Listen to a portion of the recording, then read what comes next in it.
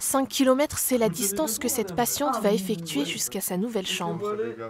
À Bavilliers, les locaux du service gériatrie vont être transformés en unité Covid. Il faut donc libérer des lits. Ceux qui me connaissent, ils vont dire Qu'est-ce qu'elle fout là-bas? 30 personnes seront transportées jusqu'à la clinique de Lamiotte pour recevoir des soins de suite. Un accord trouvé entre l'hôpital Nord-Franche-Comté et cet établissement privé. L'objectif assurer la prise en charge des patients non atteints du Covid.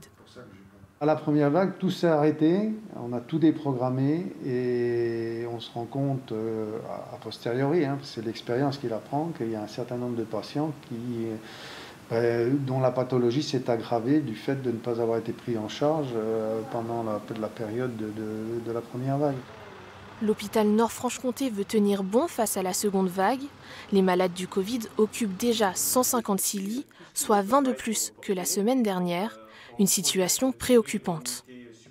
On reste toujours dans l'inquiétude parce que euh, l'épidémie euh, progresse, le nombre d'hospitalisés euh, progresse.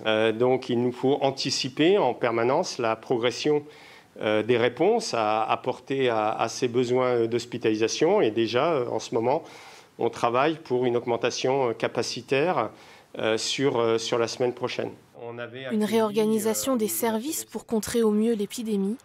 D'ici mi-novembre, 180 lits seront ainsi dédiés aux patients Covid.